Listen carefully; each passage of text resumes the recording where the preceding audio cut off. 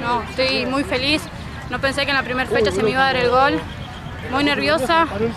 Para esto que empezó fue muy, muy importante para mí. La verdad que no, no sabía cómo decirte porque hace poquito, hace muy poquito empecé a entrenar.